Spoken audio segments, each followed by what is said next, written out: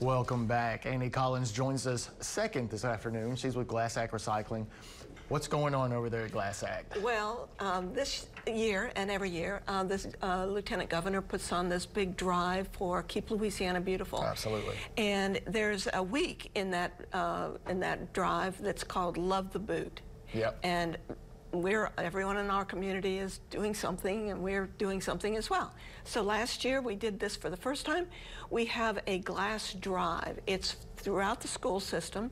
So all of the schools in Rapides Parish, public and private and charter schools, all will uh, participate. So there's this competition between the schools to bring in their glass. So um, on the two weekends that, that wrap around Love the Boot, that's the 19th and 20th, Friday and Saturday, and the 26th, 27th, also Friday and Saturday on the other end of the week. Um, we're open from 8 to noon, like we always are. But on those four days, you'll be bringing your glass in and you'll be saying, oh, I'm with Pineville, or, you know, this, put this down. So we keep track of it and everybody gets excited. And we have parents that are running down the street picking up glass and like, oh, wait a minute, I'm going to my favorite restaurant. I'll get their glass. We'll put it in. So, um, and the kids really get excited. And I mean, the whole purpose is to clean up uh, the landfill. Absolutely. And so, um, but who better to drive that message than the children? Yep. And so what does that look like at the schools? Are there bins set up or? No, no. We, we, we thought that that would be a good idea at one time, but there seemed to be some concern over glass and breaking glass and how we're going to get it and all that sort of stuff. So what the parents or the grandparents or the children or anybody who brings glass, they can dedicate it to a particular school. So if you were going and and uh, and you had glass, you would say you'd pick your favorite school and you'd say, okay, I want my glass to go towards um, this school's tally. Gotcha. So gotcha. that's the way it works. And then on um, Monday, after this is all over, we have a a really nice plaque that um, was made for them. It looks like it's on glass, but it's really lucite. It's green. It's real cool. Cool. And so when does all of this start?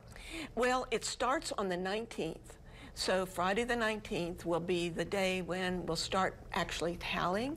So 19 and 20, 26 and 27, those four days.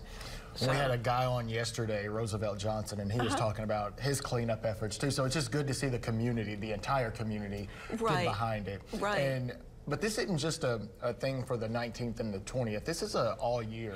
It's true. So, um, and we have, um, well, of course, we are open every Friday and Saturday, and we're collecting glass. We also have yellow bins that we like to have people um, uh, uh, sign up for, and then we'll come get it. And that is a real drive right now for us, as you know, because I've been on talking about that a few times. Um, but what the other thing is, if we're going to stay with the children for this moment, we have students from, I would say all of the high schools where they need to do their service hours. And these kids come with enthusiasm. Sometimes they come week after week. They know what to do. They get in there and uh, they're out there helping people get glass out of their cars and trucks. And um, so all of the schools are participating one way or another. Absolutely. And so anybody that wants to participate, Miss Annie, how can they get in touch with you?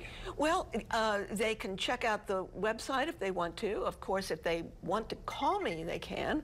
I'm at 504-606-4712. 4712.